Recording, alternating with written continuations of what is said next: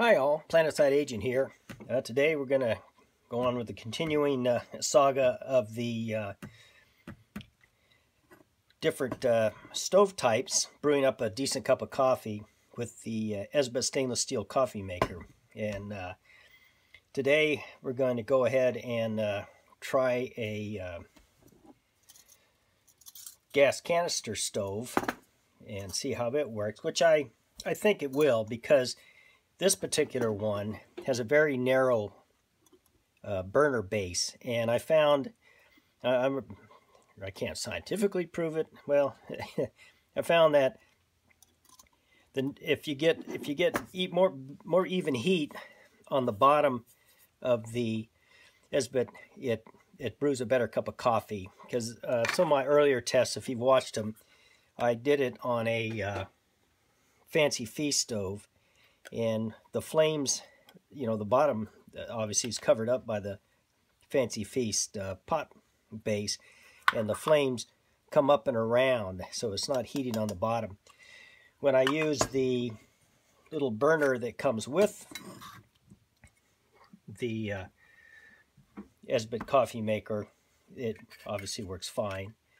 And I tried it uh, with, uh, I think yesterday, I actually used the uh, wood gasifier stove here, which again, you can see most of the flame does hit the bottom and the and the coffee was was was fine. So anyway, I'm just doing this probably more for thoroughness. I'm pretty sure what's going to happen. One thing, all the all stoves are different, and one of the things you have to be concerned with is the small base. It's only two inches across here, so you have to have a, a stove with a pretty a range that's narrow enough for it to seat nicely. Now this this stove here is the uh, Etekcity uh, propane burner. And it's very nice, comes with a self-start. But also, if you notice, the uh, pot stand has these little feet that you can uh, flick out for, for bigger pots. So in this case, that wouldn't be enough for this stove. You can see it kind of wants to rock and slide off. Also, hmm, and then so you flip these feet around and uh, now it, it'll sit up there quite nicely and quite secure.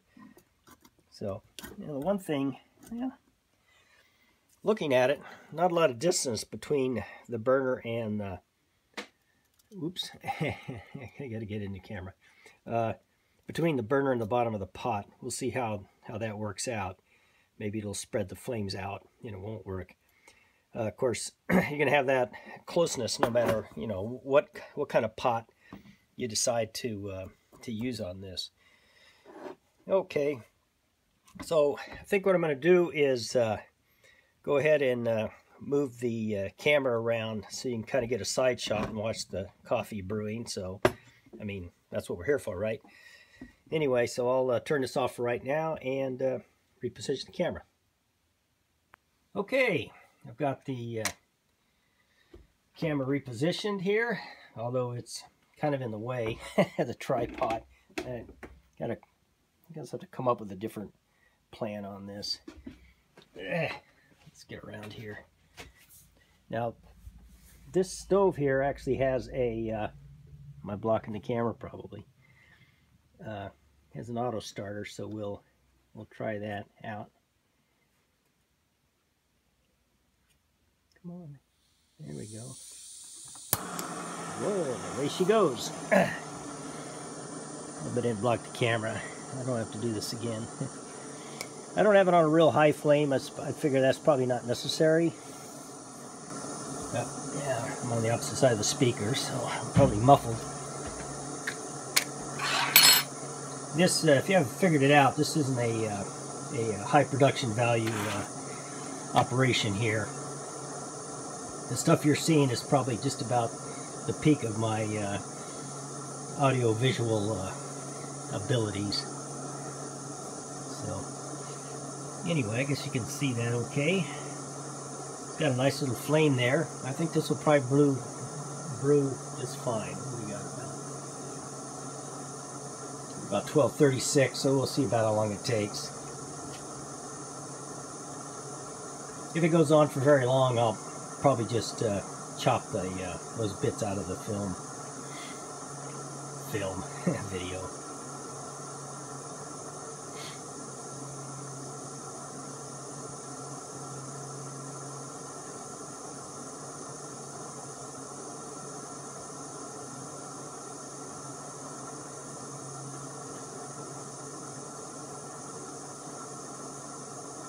I just turned the video off and wait a bit to, you know, save it for running. But the thing with this Esbit stove is you really don't have any outward signs that it's about ready to uh, to brew.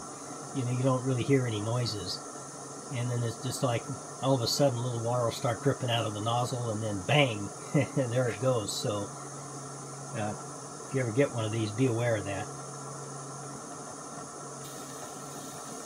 Yeah. I see some water leaking out. Looks like I didn't uh, tighten the lid down enough this time. Now, I don't want to really force it, but obviously uh, I did a real bad job this dripping. there it goes. Yeah, that's not good. I don't see a lot of color in the uh, in the water coming out. Probably because of wonder if that dripping out's going to be a factor. It's coming out pretty good. I got it. Yeah, it's dripping out pretty bad. I think I'm just going to have to redo this video. I don't know if I'll publish this failure or not.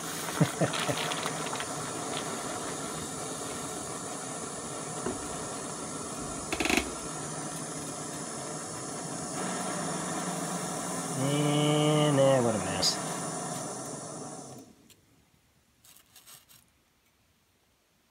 There we go.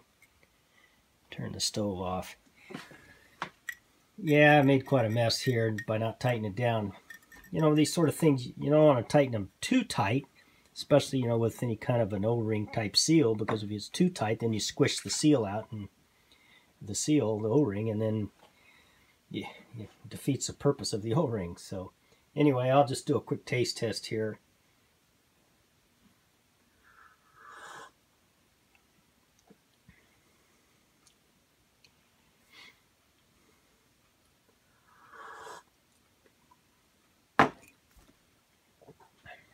Uh, I think it's a little bit weaker than uh, what I've brewed with the uh, stand that comes with the stove or the one I did on the uh, wood burning stove. I think uh, I know now I don't know whether it's because I was getting the the air leakage around the top here on the seal or just the way it burned but I kind of was suspicious because at the very start um, the uh, water coming out was pretty clear which on a normal one it doesn't so anyway yeah I think I'll probably uh, try this again and uh, see how that goes. Maybe I'll just be quick and just show you the actual brew if I can get that seal tight. So anyway, uh, I'll call it quits for this portion of it, and uh, I'll probably come back later on and, and do another brew. So, okay, we're going to give this another try after the last one turned out kind of weak, and we were getting all that uh, steam leakage from around the lid here, and I thought maybe I didn't put it on too tight enough, and it was on pretty good. I mean, I couldn't really get it down any tighter. So I, I took it apart to clean it, and I got to wondering, there's inside here, let's see, do I got it here? You can see it. Yeah, there we go. Uh, in Inside here, there's a rubber gasket that seals, you know, the top to the top from the base. And uh, as I was feeling it, I noticed that there is a little bit difference in the uh, in the lip here. You probably can't see it, but if you run your finger this side, the lip a little bit higher than, than this side, and I had it this way, so I don't think I had the, the, this, the shorter piece on the, uh, I can't really tell on the camera, uh, for the seal, so I don't think it was getting a good seal, so I'm going to flip it around, so hopefully that'll give me a better seal, I won't get the, the leakage out it, and thus uh, a better cup of coffee, which is all of our goal is to get that better cup of coffee. So anyway, I'll uh, turn this off for a minute while I uh, prep the pot and then uh, I'll fire it up. Okay, I got the coffee pot prepped, so let's fire up the stove.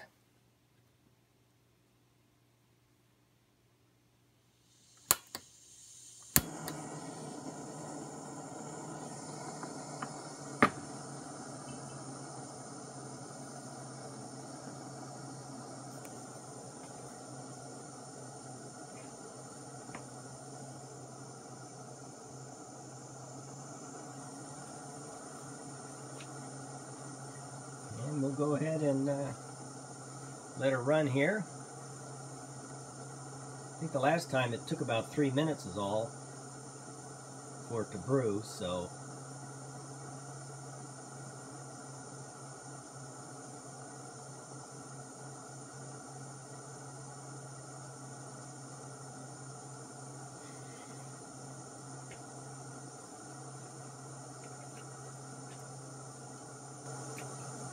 Hmm, wonder if I should uh, cut out the boring part between the, uh, while we're waiting for it to brew, or uh, just let it run and put music under it, or just yak over the top of it. I don't know. I guess we'll all be surprised when I take this into editing just for the final, final cut. On the subject of uh, screwing stuff down tight, uh, I noticed when I was uh, setting this uh, Etekcity stove up, you know, the uh, the little wings here, the pot stands, they, they kind of come around and, and, collapse down. They slide along the bottom. I noticed that uh, the little up, upward piece here uh, came loose and I had to retighten it. So anybody has one of these, that's just something to be aware of if you haven't already figured it out, that to make sure that's down tight before you fire it up.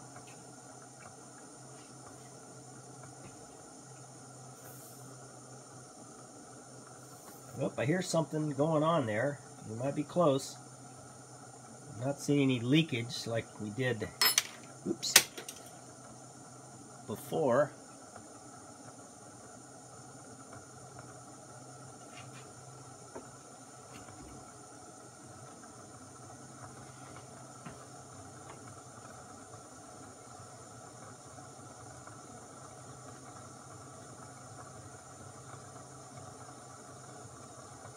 Yeah, the difference in uh, the lip of, of, that seal on either side is it's especially because of the light color. It's hard to tell. You can really only feel it.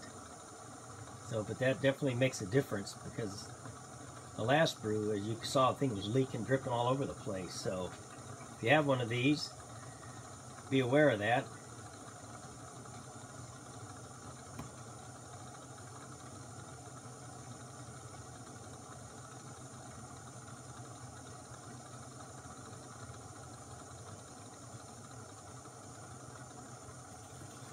Goes. Oh yeah, there you go. That that came out black right from the start.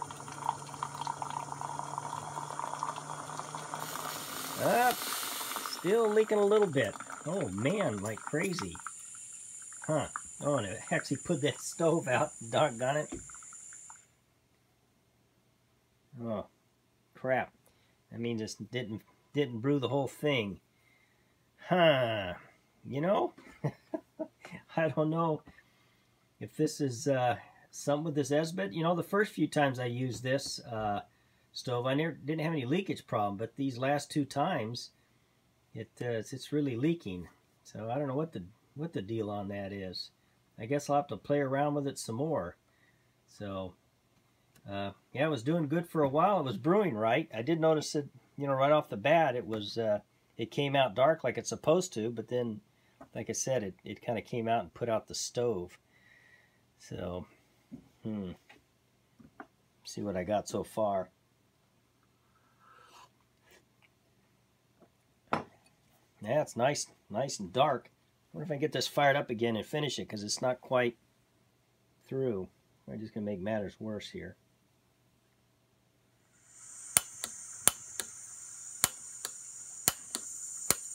Nah, Oh, it's got liquid in the tray. Okay, now have to clean this mess up. Doggone it. So, uh, another uh, another failure. This isn't uh, turned out to be a particularly good video. Anyway, uh, that's it for this round. I, I don't know if I'll try again or just bag it all together. Anyway, talk to you later. Bye-bye. Okay, back again. Uh, yeah, I've decided just to call it quits here on this particular video. It does show that, that you know, the whole point of this video is where whether the Esbit stove would brew on a canister stove, assuming that you could, you know, the base, the uh, flame portion was narrow enough and the legs or the pot stand was was narrow enough that the, that the Esbit would uh, fit on it. I'm not going to pick this up, it's still hot. uh, so I think this proves that it will work, assuming your Esbit doesn't leak all over it and put the fire out. Uh, I'm going to have to look into that. Maybe I'll uh, do a separate set of videos on my findings on this and why it's continuing to leak, even though I thought I had it fixed with the uh, the gasket side. But anyway, what uh, what coffee I did get was very good. So I think making sure you have a good seal is critical to good coffee on this. But I'll maybe I'll just discuss all this in a in a different video since this was really about about using the canister stove. Uh, yeah, another note. Uh, I'm gonna have to. I turned the video off. I started cleaning up some of the you know, coffee that spilled down around it, and I tried to light it off again, and it looks like it's kind of clogged, so I'm going to have to take this off and take it in and clean it up a little bit more to get it working again. So anyway, kind of a mess there. So I guess a, a fail on making the coffee, but I think it does demonstrate that you can use this stove on a Esbit stainless steel coffee maker if you have one. So anyway, that's it for this video. Uh, thank you all for watching. Hope I didn't bore you too badly. And uh, we'll see you next time. Bye-bye.